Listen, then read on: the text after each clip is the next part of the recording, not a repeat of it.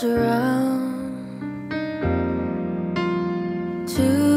remember where it stood. Did it even make a sound? How many watching make a tree?